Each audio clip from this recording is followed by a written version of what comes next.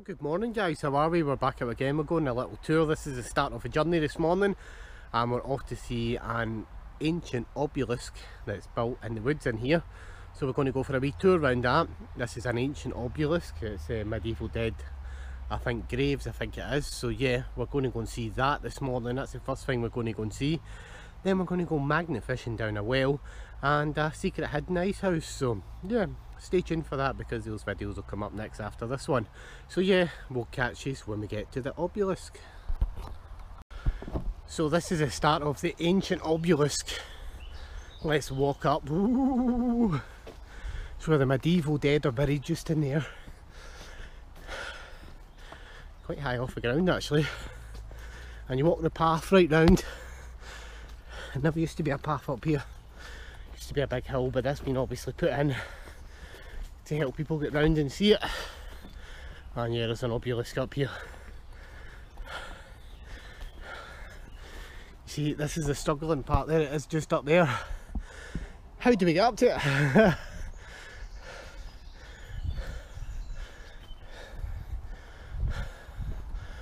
well, but at least the things are there. Whoa! Easy big boy. Well you can see it, it's just up here. Let's get up there without falling off the side of that mountain. It's a bit of a fair drop eh?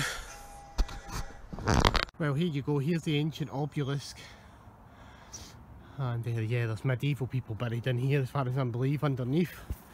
This is, uh, I don't know if it's one crypt or if it's a crypt for many for his neighbours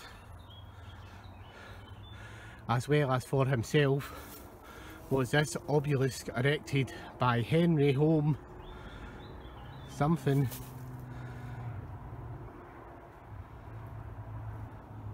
for self-love. The fruit will be delicious.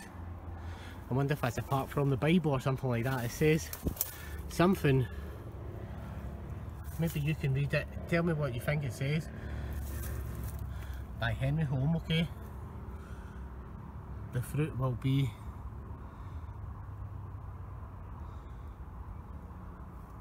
Can you read it? Again, let's go again.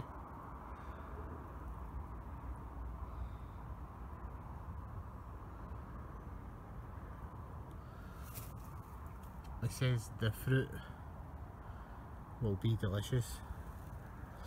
Yeah, it's a medieval obelisk, obviously there's medieval people buried under here. It's just in the middle of the woods, you can see the wee roof and everything up there. It's just bizarre place for it just to be erected, but yeah, it's maybe like somebody's grave or something like that, but it is absolutely lovely. And yeah, that is the little obelisk in the woods. On that note guys, I hope you've enjoyed. Good luck, happy hunting and yeah we'll catch you on another little tour soon. Bye for now